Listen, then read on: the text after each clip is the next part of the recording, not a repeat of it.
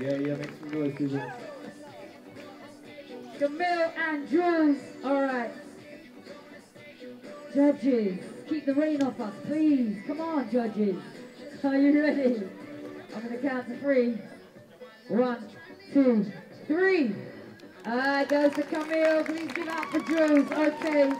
And next up we have Corinthia versus Charlotte.